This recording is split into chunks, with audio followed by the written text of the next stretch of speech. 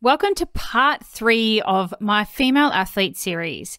Today I'm joined by fellow sports dietitian from all the way in New Zealand, Dane Baker, and he's going to shed some light on REDS or relative energy deficiency in sport. It's definitely something that affects females, but we also do talk about the male athlete too because it is not purely females. He's worked for High Performance Sport New Zealand, for 13 years now. He was on the New Zealand support team for the Rio Olympics back in 2016, the Gold Coast Commonwealth Games in 2018, and has had a long career in team sports. So he worked at the FIFA Sports Medicine facility as a sports nutrition specialist in Qatar. He is currently the sports dietitian for Chiefs Super Rugby, the Black Fern Sevens team, New Zealand men's hockey, and spent seven years working with New Zealand swimming as well. He's also a lecturer at Auckland University and is involved in various research projects, particularly in the elite rugby space. I mean, talk about overachiever. I thought I was bad. This guy's busy. He also currently works in private practice in a REDS clinic at Axis Sports Medicine in Auckland. So I'll link the details for that in the show notes. Like me, Dane is definitely a practitioner. And he's got some really practical tips if low energy availability or REDS is something on your radar, what the difference is between those, and some signs and symptoms to look out for. Plus, what do we do to make sure that we don't get into this rut of low energy availability for the female athlete, but also for the male? So, let's dive into part three of the female athlete series, all about REDS. Welcome to the Triathlon Nutrition Academy podcast, the show designed to serve you up evidence based sports nutrition advice from the experts. Hi, I'm your host, Taryn, accredited practicing dietitian, advanced sports dietitian, and founder of Dietitian Approved. Listen as I break down the latest evidence to give you practical, easy to digest strategies to train hard, recover faster, and perform at your best. You have so much potential, and I want to help you unlock that with the power of nutrition. Let's get into it. Joining me all the way from across the pond in New Zealand is Dane Baker. Welcome. Hi, how's it going? Thanks for having me. You're so welcome. Thank you for taking the time to talk to me.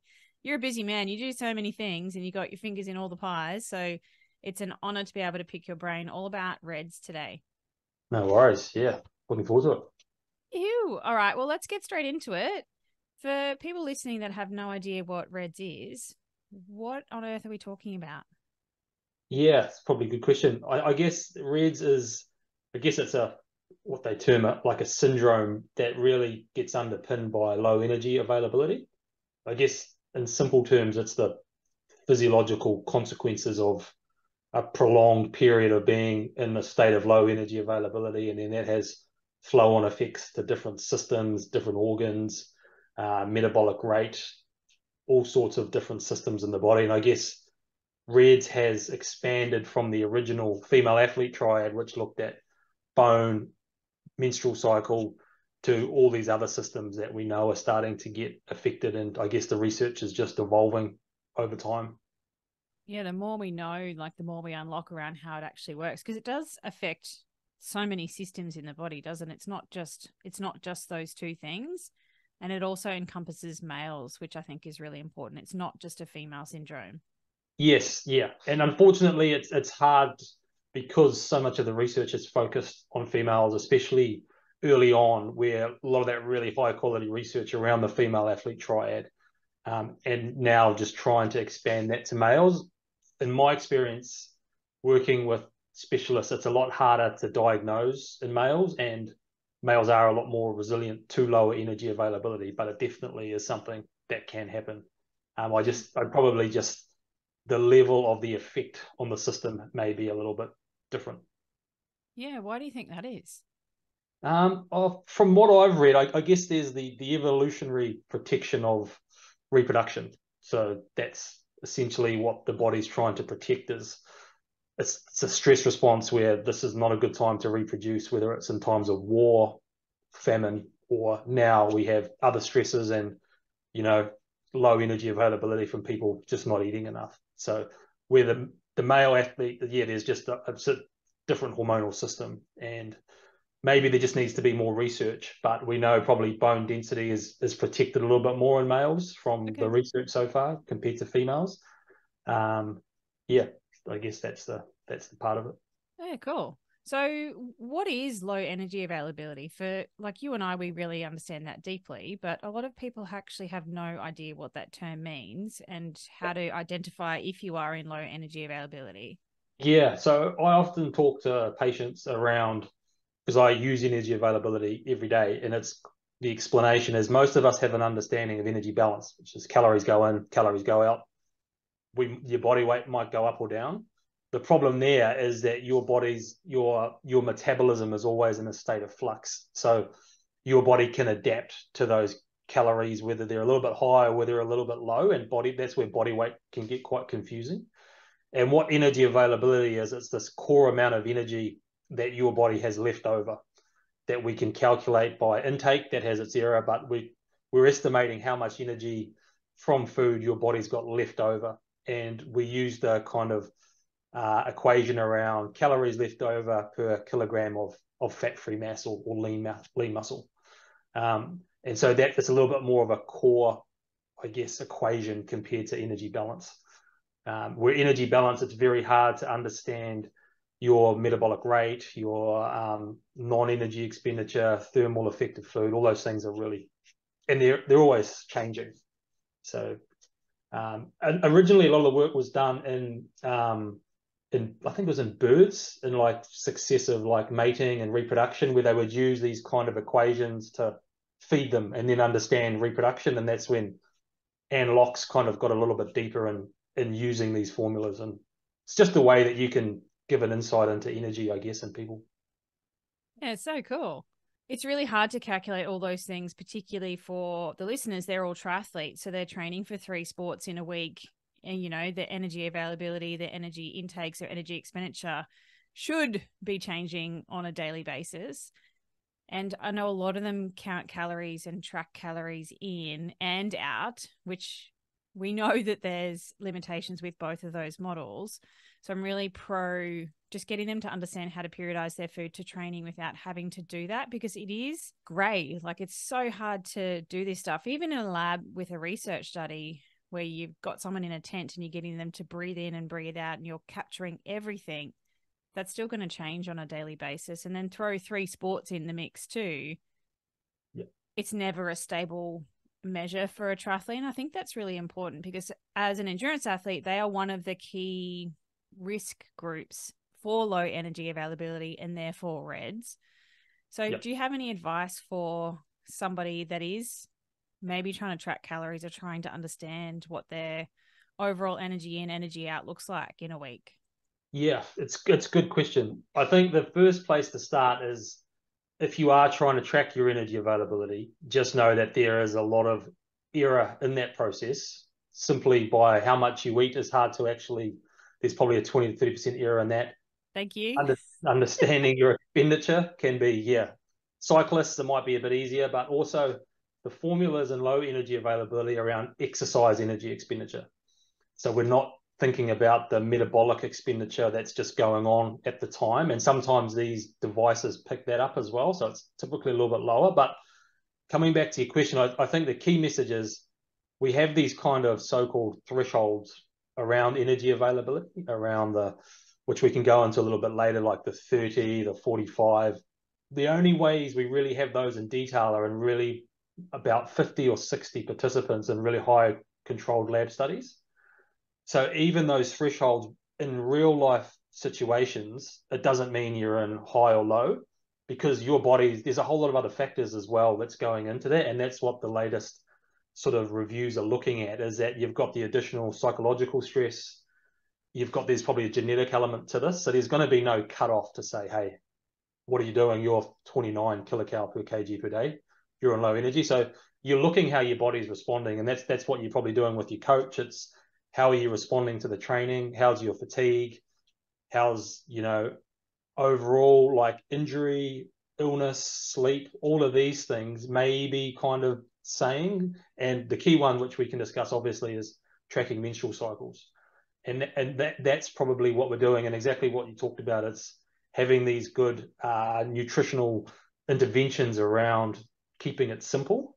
Um, unfortunately, the area when I work with patients, I'm working with patients that have been in a real energy deficient state for a long period. So we actually try to educate them around what they need, and that's so it's a little bit different than yeah. If we've got an athlete that's healthy, competing well, we just want them to be eating well, really. Yeah, amen. I'm glad you're on the same page as me with that. Thank you for backing yep. up my messaging that I've been talking about for a long time. Yep. So, well, we can dive into those cutoffs a bit later, but firstly, like if somebody is worried that they might be in low energy availability, what are some of the things that they can look out for or signs and symptoms that they may not be eating optimally to support their training? Yeah, so I guess if we start with the female, probably obviously the key thing is irregular menstrual cycles or absent cycles or a prolonged period without a period. So in New Zealand, our first port of call is the GP. That's the first place to start. And the challenge there is if the athlete or patient's on an oral contraceptive pill, then that will be masking yep. the cycle. Yep. So that's the challenge. So that probably rules out like 50 to 60% of a lot of athletes. Then the other side signs to look at is obviously like I guess excessive fatigue, not responding to the training. Um, there's also been evidence around sleep. So sleep can be a factor. These often tie really closely with probably overtraining. So it, there can be an element of just you know overreaching, and it, it doesn't mean that you're off, you've got RED-S, and that's probably where a lot of the information now is trying to get people to have context. It's it's the exposure to low energy availability that can long term cause a down regulation. Um, and then in New Zealand, we would then, if there is a concern, would be then scaled up to a experienced sports physician or a reproductive endocrinologist. And because there may be other reasons why there's a menstrual cycle that's irregular. It could be um, polycystic ovary syndrome. There could be other more nasty things at play. So you really need to exclude all of those other things. And that's what they talk about as a diagnosis of exclusion, because essentially you're excluding everything else and you need blood levels, you need an experienced, you know, clinician to be able to do that. Um, but I don't think it hurts if you are concerned with that that you address your nutrition. I think that's going to go hand in hand anyway. Yeah. So, it, but I think it can help not to just think that it's RED-S because it's an absent cycle. I've seen that enough now that you you really want that sort of followed up with your medical lead. Yeah, it's a bit like gut things. It's a process of elimination. It's not this, it's not this, so it must be this in a way. Yeah, that's a good point because gut is another symptom. So I think um, Kathryn Ackerman's research, they did, I think they surveyed about 1,100 patients at their sports medicine clinic, and there was almost a double the double prevalence of gut issues in patients at risk of low energy availability. So yeah, we get, I'd say probably half the patients I see that are diagnosed will have had quite significant GI issues. Mm. And a lot of them are unresolved, like IBS diagnosis. They've had colonoscopies, all sorts of investigations, and often it's a it's a low energy availability thing. Yeah, because it does affect all of the systems of the body, and if things aren't working properly, then your gut's not working properly yep. either. And and it's often one of the things that happens with endurance athletes or triathletes in particular particularly running, and you sort out somebody's fueling and get that better, and they kind of miraculously disappear. Yep, exactly. And that's why I guess our approach is to try to use the energy availability concept to get them to buy into that because it's quite hard if you've got someone that's having a lot of GI issues and you your answer is just you need to eat more. That's often it's not going to go too well. So I guess mm. you need to kind of get them to buy into why they need to fuel more. And I think having that understanding of you're in a state of low energy availability, your gut's down regulating, this is also affecting other systems. That's what we've found that actually there's almost like a bit of a light bulb moment that they're like, oh, okay, I'm willing to to try this. And then we often see there's a period of one to two months of, of probably more bloating as you try to get that in it. But there's a few things you can do to prevent that a little bit, but ultimately it's you need to kind of get through that initial stage, and that's when a lot of patients start feeling a lot better. What sort of things can you do to prevent that or minimize that extra bloating that might happen in yeah, that transition so phase? I'm probably just referencing other people, but I, I um, big fan of Dana Lis's work, and I've seen her present a lot of times. And not going. I'm not a big. I'm, I'm not experienced that area around the FODMAP, but not doing a full exclusion. But maybe there's. She talks about the the offenders of like FODMAPs, and maybe we just yep. look to reduce those. So yep. I find probably 95% of patients have already excluded gluten. Yeah. And they've probably already excluded dairy. And so they're probably, the devil, right? Yeah. So maybe you keep those things out, but I try to educate that as you recover, you your gut will be able to tolerate these things. And so it could be lactose free milk, it could be like sourdough bread, it could be lower fiber options. Um, the sweeteners, they're often a real risk, like the protein bars and protein powders. They're in most cases they're the main offender. I see in a lot of cases. So it's just finding better options or taking those out. Um, spreading out the intake is obviously a key one. Yeah. Uh, yeah, and I think a lot of people end up having less and less, so they they don't actually feel before, and we know that having something in the gut and hydrating is is going to be beneficial. Yeah. But I do think it was interesting.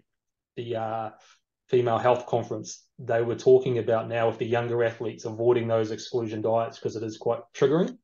Mm. And I think that's, yeah, I, I agree with that, I think. Yeah, it's just another thing to control when yeah. you potentially already have a restrictive diet in the first place. Yep. And I, I see, maybe it's just a New Zealand thing, but I see a lot of patients go through the uh, FODMAP experience, but they don't actually come out of it they just keep everything excluded. They don't re-challenge. Yeah, that that happens here as well, and that's just education. They've done yeah. it by themselves, or the GP said, "Go and do this diet. Look it up online," but then yeah. have no idea about the impact of the long-term implications of excluding all of those foods because they're so good for our gut. Yeah, I think I can't remember the paper, but they did some research and understood that the your gut microbiota changes with two weeks of the FODMAP diet. So it's not a long term thing. It is really just a test diet that you do for a short period of time, and then you want to get off it. But yeah, very yeah. common for me to see that over here as well, and globally, yeah. people get thrown on it, have no idea how to do it properly because they're not working with a sports dietitian, and then yeah, stay on it forever. Yeah, yeah, and we I think we see a disconnect too from the dietitians prescribing that, uh, there's a pretty clear and obvious low energy availability thing going on here when you've got yeah. a 16 year old presenting with stress fractures, no period, and then FODMAP diet because of the gut health. You're like, well, so I think ding, maybe ding, ding, yeah, alarm yeah. bells. Yeah. So hope yeah, we're getting. I think it's, it's we we put a lot of work into GP education, so hopefully it's it's getting better. Yeah, awesome. And so that's the females. What about the males? What are some signs and symptoms a male athlete could look out for to make sure they're not in low energy availability? Yeah. So I guess similar probably from a fatigue perspective. I guess all the markers of your wellness type markers you're looking at with training and trying to understand if it's excessive and they're not responding to the training. Um, I think especially around testosterone, like mood and you know enjoyment is is a big one that can be picked up. Uh, potentially a bit of body language with experienced coaches. Also, a lot of work's been done in sort of hormones and around like morning erections, those things. So it's a little bit. I think Greg Shaw's done a bit of work in that, and it's yeah, like, yeah, it is a hard thing, I guess, to have those discussions. But I think it. I think one of the best things I've heard those guys talk about is if you got young guys and they're not you know, going after life and getting out there, and it's probably a bit of a warning. So if they're subdued yeah. and um, you can test testosterone, and I, I've I've seen many like talked to many specialists and seen them present around the challenges of there's a lot of reasons why the testosterone might be low, and some of that mm-hmm. supplementation, some of it can be um, yeah, uh, steroids. So yeah, it's not a clear, and sometimes the, the testosterone isn't really low. So it's again, it's it's a little bit more challenging to get the actual diagnosis in the males. Yeah. Um, so just feeling tired, fatigued, not really absorbing in training, and reduced sex drive. Yep, yep. If you can measure that somehow. Yeah. Um, and yeah, and I guess if you are going to measure those hormones, try to do it with a specialist so they can understand the context of the time of the day, what this actually means, what what could be affecting those numbers. Yeah. Um, yeah, I was trying to, and I guess obviously injury history, illness, um, that might play a bit of a part as well. Like maybe soft tissue injury, all those kind of things. And I guess just like maladaptation as well. They're just not adapting like to the training yeah. and having a look there nutritionally to see if there's anything that can be helped. Yeah, it's not like a one thing's going to fix it, is it? It's definitely multifactorial. Yeah. And like you do in clinic, of working with that person, understanding what's actually going on first. And everyone can probably do with a little bit of understanding fueling better for their sport, I would say. Yep.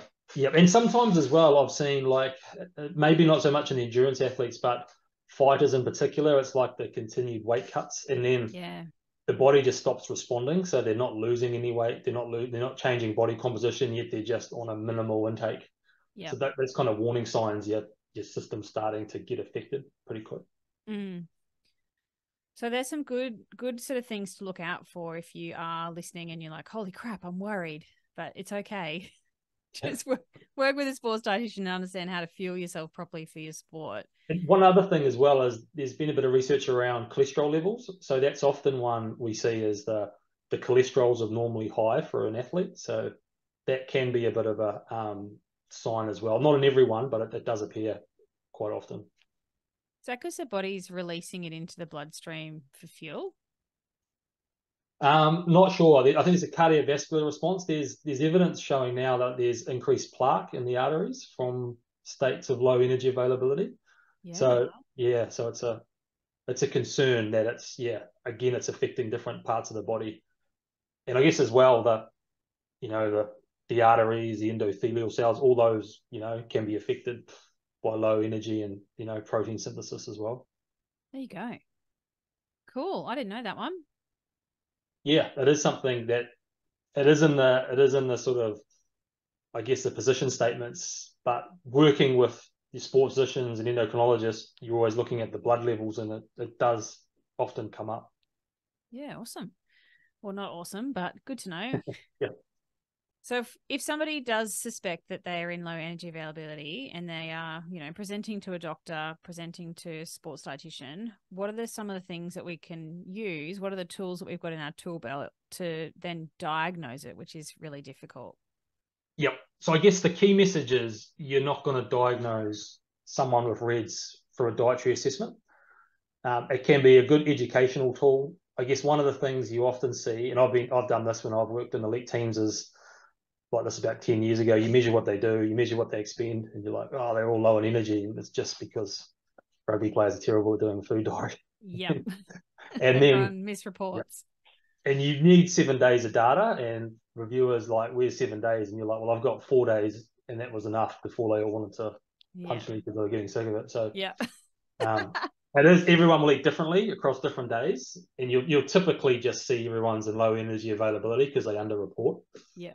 Um, so the key thing is for a diagnosis would be if there is a high level of a concern to go through the GP and then do a battery of tests, have a full clinical examination with a with someone that's experienced in RED-S, whether that's a sports physician or an endocrinologist. And then what we're looking at doing, if that's a diagnosis where they'll go through, exclude all the other things that it could possibly be, then we're working on the energy availability to start uh, returning that athlete, whether it's female, to having regular cycles. Um, in the clinic I work in, they'll use a lot of blood work where every six weeks the patient might do a repeated hormonal test, and we can actually see those different, like the estrogen. The ideal world is it slowly starts to go up, and then it goes up to a certain level, and then that patient might have their first period, and then the goal from there is trying to get that cycle within that sort of 28 to 35 days. Yep. And so they'll do tests as well if ovulation's occurring. And it can be a process. So it can be, we often say it can be 12 months, it might even be 24 months before that cycle's really regular. And, and that level will depend on the patient. If there's a strong, I guess, disordered eating element to this, then that then we need sort of specialist services around that. Can also depend on how long they've been in low energy availability. If it, they've just kind of dipped into it recently, they can typically get out a little bit quicker. Um, but there's a lot of factors at play: stress, um, how much training they're doing. I can show them what fueling looks like, but if their training is high intensity all day, every day, it's you know you've got a lot of other things going on there with regards to stress. Mm. So it is it is a challenging piece, but I definitely say uh, diagnosis needs to be yeah specialized, I guess. Yeah, and you may never get a diagnosis necessarily and have that, you know, written down on a piece of paper, but it doesn't necessarily mean that's not you or you're not affected by low energy no, availability. Yeah. So going through all of this stuff is still really useful. And the challenge we sure. have in New Zealand is it's private healthcare to see these people. That's not covered by um, in New Zealand. We have our sort of ACC, which is our government sort of insurance. So it does often involve quite a bit of cost, and we, we know we're missing a big chunk of the population that don't have access to that um, resource, really. Mm. Yeah, I think that's really important. So, what are the, some of the things that you do with somebody that you would see in clinic then to help them through low energy availability or RED-S? Like, let's get let's get practical. That's my happy place. Yeah. yeah so I, I do probably think, yours too. yeah, so probably to give context, I overnight just started working in RED-S, but I'd been working with professional rugby, swimmers, hockey players. It had always been like I was really passionate about the concept of energy availability because it's I think it's a really nice way to educate athletes, patients around putting their different days together, their weeks together, rather than just like in nutrition, have this much about carbohydrate, this much protein. You get into those real uh, emotional debates around carbohydrates. And so it's like okay your body needs a certain amount of energy. It might not need all this. It might need some. What how much do we need to get? So i work on essentially trying to optimize each patient's energy availability and talk them through different days. So i do a full hour consult try and understand their training week their different days of training what they're currently eating. We don't try to analyze that from a calorie perspective it's more like a i guess a um, assessment or interview and then I'll go away and put the op- what I think is the the needed energy availability. It might be that they need to recover from being amenorrheic for, for six months, and that in that regard, we're trying to get to those higher thresholds. And maybe it's someone looking to reduce body fat, and then we want to do that safely, and I'll still use energy availability to ensure there's enough baseline energy, but we're just kind of minimizing that. So that's but I don't get anyone counting calories. That's that's the key. But I'm using kind of structure to go, okay, this is the reason why I'm trying to get you to eat this much. And then there'll be a real visual plan around that's breakfast, lunch, dinners, snacks. So it's a really easy way to put the pieces together. But yeah. the framework is around different days of training and, and getting the energy right, but then getting the the distribution of the energy right is the key. Yeah, I love it. I'm I'm the same, and I I don't get people to count calories. I actually did a whole podcast episode around why I don't think it's very useful for triathletes to count calories for yep. so many reasons. Yep. Some yep. of which we've touched on today. So it's nice to see that the New Zealand sports dietitians are on the same page as the yeah. Aussie ones. So it is something like I'll often present case studies, and I'll, I'll get challenged on it. We've actually just about to publish research on 55 recovered RED-S patients around their uh, facilitators and barriers to, to increase energy availability. And increasing energy intake and increasing meal frequency causes that was the, it causes anxiety. Yep. But there was also a relationship with knowing what they needed to eat reduced that anxiety as well. So often the thing I often hear from my patients is everyone's told me I've had RED-S. They just told me I need to eat more, but I never know how much I need to eat, and yeah. that just stresses me out the whole time. So hard. So it's like, okay, here's a framework, and then I kind of present it as this is a blueprint for the next 12 weeks, and it's like, okay, then hopefully in that time we'll have two repeated blood tests, and maybe we need a bit more energy. Maybe you don't need all this, and you start going pretty good, but it creates that kind of structure and routine, and often that's another thing they benefit from. Well, they've told us they benefit is having the structure. They like the they like the structure in place, and that's a big part of it with energy availability with um, around appetite. So we know appetite reduces. So sometimes the simple things where a lot of athletes can easily implement those in low energy availability, their appetite's dysregulated. So giving them some kind of what's yeah, structure and actual amounts can be quite helpful. But again, the amounts is just food; it's just options. Mm. So they're eating food; they're not eating calories. But yeah, there's a rationale to why they're eating those kind of options. Yeah, sometimes you just don't need to tell everyone all the detail that goes into a plan. yeah, yep, yep. And I'll, I'll talk to them side. as well. Yep. So every patient that I feel like if it's a young patient with their parents, I'll say like if I'm talking about calories, does that cause any stress? And they're just like, nah. Like one thing I've learned from clinical psychologists is they're like they'll know it anyway. So mm. you telling them is like that's only in our more disordered, I guess, patients. And with our clinic, if there is that's the specialist will do that review, and if there is a high level of disordered eating, and we'll use clinical eating disorder services for them to start working on different ways of eating. Yeah, and a message to that type of person to eat more is not going to land well either. Like it's not useful, no. it's not helpful, it's not going to no. actually change things. Yeah, and what we've found is we often see a lot of those patients as they come back from those services, um, and they want to return to sport, but they've just they've got a real limited plan, I guess. So we're trying to give them more, a lot more variety and a lot more keeping the structure, but just opening them up to eating a whole range of different foods again. Mm. Yeah, it does take a multidisciplinary approach. Like I'm working with triathletes.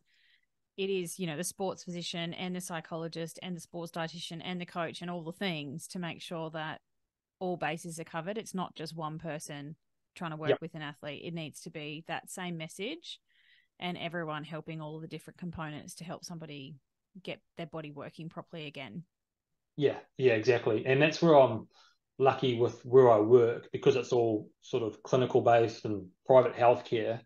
It's a really yeah stimulating environment, but quite fortunate because everyone's on the same page and yeah that's why it's been so interesting coming from sport where you have certain situations where you got a great environment and then you have another environment which is just you know this is going on, but it's really hard for you to get that athlete to buy into it because you just don't have the consistency in the voices mm.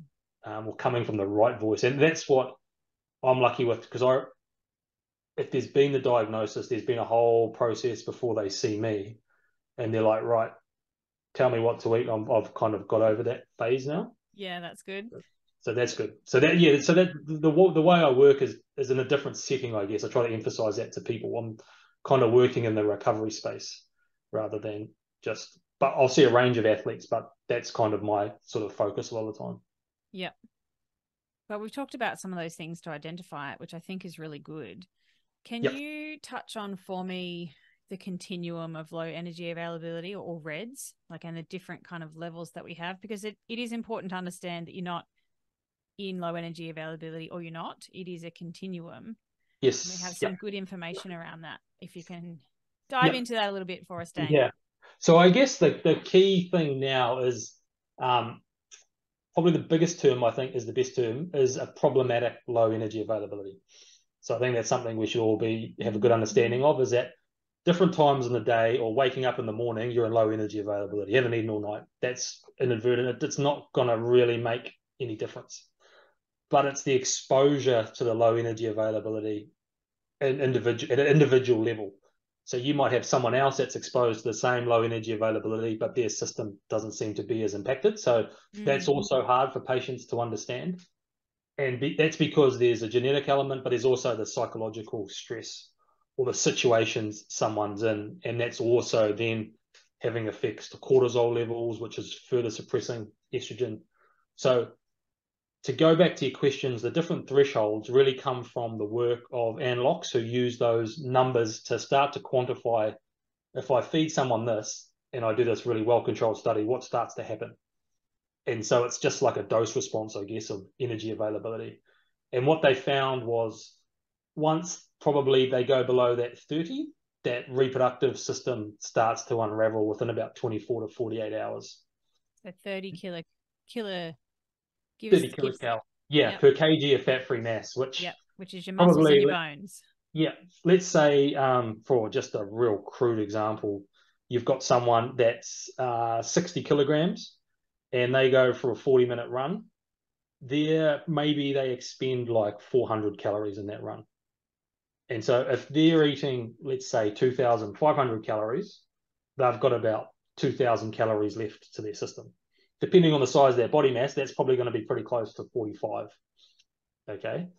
if they go into low energy availability, if they're eating sort of 1600 calories a day, that might mean they've got about 1100 calories left over. So you can kind of think about as how much left over to the system. Mm. And in those really well controlled lab studies, they found within about 48 hours, if they can get that threshold really accurate, that uh, reproductive system, all like insulin, um, estrogen, within 24 hours starts to reduce. So Yeah. there's real clear signs that it's impacting. Where the challenge has been is they've re- replicated these studies in real world situations where they've done food diaries and and they don't see the thresholds as clearly, and that's probably just because there's a bit of error. Yeah. But even in those studies, I think it was there was a 50% chance of quite significant menstrual disturbance at below 30. The other interesting part is it's kind of body system dependent as well, and that's where the bone in Anne Loucks's work, the bone actually started to downregulate as soon as you went below 45, which is quite interesting for adolescent athletes. So I think adolescents, especially if there is a there's an injury to the bone, or you at that age you're just trying to build tissue and you don't want to compromise really anything. So that's another reason why you know low energy availability in adolescence is really can be quite problematic. So that's how it works. And but again, it's at an individual level. It's there's no sort of black and white here, and there's going to be error if you analyze that. So that's what you're looking at from a health perspective is like not diagnosing it, but are you healthy? Are you getting through training? Are you regular cycle? Then then you know your your your energy availability is adequate. Mm. And with our elite athletes, we can start looking a lot closer with different monitoring tools around the length of the cycle, how they respond to training. But from a general population, we're just looking at are, are you healthy? Are you having a regular cycle? Are you getting through your training? Those are the kind of things we're going to looking at. Mm. Yeah, I think that's really good to highlight. But I guess as well, like coming back to the um, problematic LEA, we know there are nutrition interventions such as you know carbohydrate restriction for certain trainings, and it doesn't mean just because you do that once a week or you know that you're going to start getting an LEA. It's like, but it's probably you need to have an understanding that the more you start doing these things, you need you need to keep you need to you need to monitor it, and that's Mm. where the elite environments with Olympic have the or they should have these monitoring systems in place. But the challenge is when you go and do that without that physiology support, without the medical support, things can uh, start to slip. And a lot of those studies, like Louise's and John Hawley's work, they're actually isoenergetic. So they've still got the same energy. They're just changing the carbohydrate and the fat. Yep. But when you someone goes away and does that, they often just take a whole lot of energy out of their diet. So Yeah, yeah. They don't just start massively increasing their fat intake overnight normally. no. Yeah, it's important to highlight that it is a short term shift too. Like a day or two or three is enough to drop your cycle out for that month. So it's something you have to be on top of relatively quickly. And, you know, prolonged low energy availability is not what we're aiming for, but short term, you know, maybe a little bit of advantage as long as it's well supported with nutrition. Yeah, yeah, and I think that's what um your guys work in AIS. I think there's a really nice information that just came out recently around body composition and when you should look to do interventions around how much support you have, the age of the athlete. I think that's a really nice way to put it. Where if you are in these really well supported environments, you can do it in a safe way. Mm. But when you don't have those resources, that's when things go. And there's toxic cultures. That's just a recipe for the Yeah. energy availability start getting compromised pretty Yeah, quickly. don't get me started. Don't get me started. Yeah. I've never worked in triathlon, but yeah, we see we see a lot of triathletes. So Yeah, I'm really passionate about just getting them to fuel training and understanding the periodization Yep. of that, which nobody knows how to do unless they've had some support. But they all want to lean up. Every single one of them. yeah, Like one in a hundred doesn't. And you know, so they're constantly trying to cut back calories, trying to scale back to drop some body fat for an event, but then putting themselves into low energy availability and basically trying to push shit uphill because they've affected all of their body systems yep, to the point where it's just not working. So, yeah, I see that really commonly, which is why I built the Triathlon Nutrition Academy to teach triathletes how to actually eat to support their training so that this doesn't happen because it's very, Yeah. very common. I guess for you guys is what we see because a lot of the referrals I'll see come initially through the stress fracture injury. Yeah. And just how catastrophic that is once you've had one, the risk of another one. And it's just like. Do you know the percentage? I was trying to think of find that the other day. There's a percentage of like once you've had one, your incidence yeah. of having a second is I think super it's, high. Yeah, don't quote me, but I think it's as high as 30 to 50% of the, the re risk.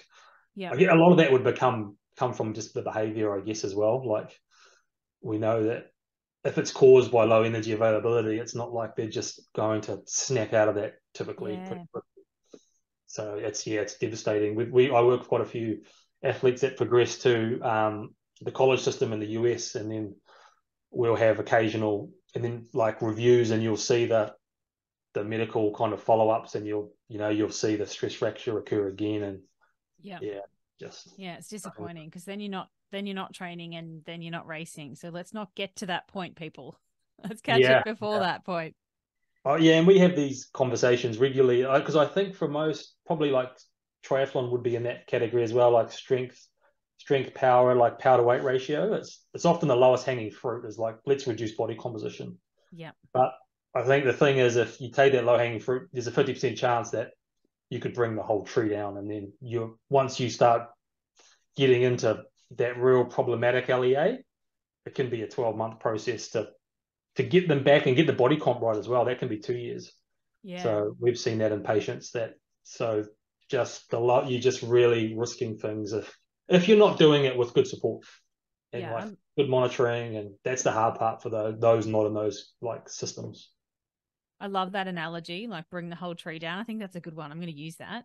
Yeah, I've just been thinking about that because I have these conversations all the time because it's what most people go for. They're like, oh, we'll get you leaner, we'll get you faster. It's like, yep, but there's been a three year history of stress fractures and LEA. So the, I think everyone comes to the table different in that situation, and you need to have the the medical history and the context to. I agree. I agree. So many gold nuggets there. So if somebody like I don't want people to be thinking that they are in low energy availability, but some things to think about. Like what's um just general advice for somebody to make sure that they, you know, aren't heading along that continuum. And if they think that they are, what are the best places to get some support? Yeah, so I guess what we've talked about the risk factors and what to look out for. It sort of goes back to what you were saying. I think the key thing is the more that we've looked at case study after case study and put presentations together, if athletes are actually getting really close to those recommendations from the IOC, the a lot of the work that's done around carbohydrate availability, protein, when those are met, they're in a really good state of energy availability. Yeah. So it's having that awareness, and I think the best place to often start, where we've found, and the same with other um, bits of research, is that pre, during, and post. If you start working on those and you start training more, you naturally start to get better. Um, Yeah. And then a, a lot of this can come down to the gut and being able to tolerate more. But I think you need to have the awareness of those quality sessions of, you know, when the intensity is getting higher, that we need that carbohydrate and we need to think about recovery. But then we need to also think about it's not just, you know, 150 calorie protein shake with water. It's like, okay, you'll be on the bike for four hours. How are we going to start to get that energy back in the system when you're training again in 24 hours? So those are the kind of things I think you need to consider. And like if you are an athlete, just knowing that you should be periodizing energy across different days, you know, and that could be framed around your your exercise, but also just having that awareness that if you're in the same thing every day, but you've got huge training demands one day to the next, you're going to be up and down, and not only your performance, but long term your energy availability might start getting compromised. Couldn't have said it better myself, Dane. So carbs are your friend, my friend. Don't be Yeah. afraid of carbohydrate.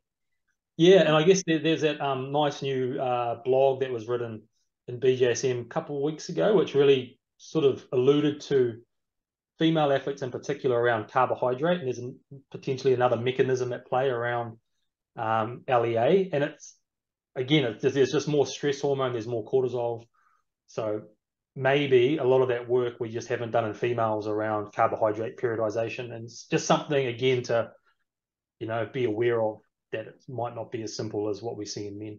Mm. Yeah, we're getting there in that space, aren't we? Slowly, slowly. It'll Yeah. be another five to 10 years, but we'll have all the magic answers soon. Yep. Well, thank you so much for diving into REDS with me, giving us a bit of an update on the, the new things that are changing and what somebody could actually do if they were worried about being in low energy availability. It's been awesome. I didn't want to do this episode myself, so I've brought in the big guns to he's all across the research to give us the the lowdown. If people want to find you, Dane, what's the best way to do that? Yeah, probably I'll, I'll go to axissportsmedicine.co.nz. So we have I try to put up some information there around there's lots of information on the clinic. We can see people all around the world or the country, and also try to keep active on LinkedIn. Try to update a few things. I'm not too good on the other social media. I'm pieces. trying to get you on Insta. yeah, yeah. I go on there, but I look at fishing tips rather than uh, nutrition. But it's a it's a beast. You either have to like fully commit to it or don't, because yeah, it's huge. Yeah, yeah, and I, it is because I see so many challenges with patients that I see with social media, so it's a, it is a hard one. Yeah, it's a we'll just get we'll just have to get you back on the podcast to spread the message far and wide. Yeah, that might be this. All right, I'll link those things in the show notes if somebody what does want to look you up. Can't find you on Insta, but can find you on LinkedIn. Does anyone use LinkedIn? I don't know, probably not. But you go to our website. Um, yeah, we try to put out. We have a good database of patients and physios. So we're always trying to put out blogs and the latest information to keep people abreast of what's going on in this space. Okay, cool. Awesome. Well, thank you so much, Dane. Thanks for your time. Cool. Thanks, Darren. And I'll talk to you soon. Cheers. Thanks for joining me for this episode of the Triathlon Nutrition Academy podcast. I would love to hear from you. If you have any questions or want to share with me what you've learnt, email me at podcast at dietitianapproved.com. You could also spread the word by leaving me a review and taking a screenshot of you listening to the show. Don't forget to tag me on social media at dietitian.approved so I can give you a shout out too. If you want to learn more about what we do, head to dietitianapproved.com. And if you want to learn more about the Triathlon Nutrition Academy program, head to dietitianapproved.com forward slash academy.